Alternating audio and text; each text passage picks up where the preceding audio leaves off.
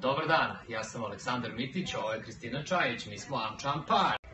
Dovela sam Aleksandra u Igroricu da vidi kako funkcioniše naš porodični biznis i za sad mu se najviše dopala diskoteka.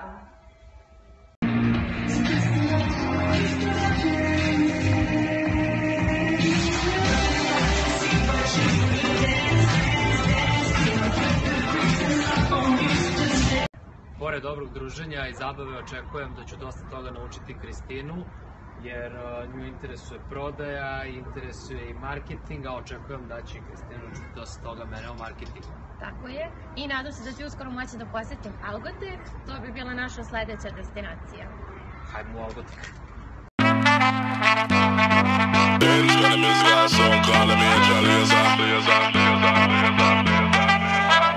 Stand up like a soldier, baby.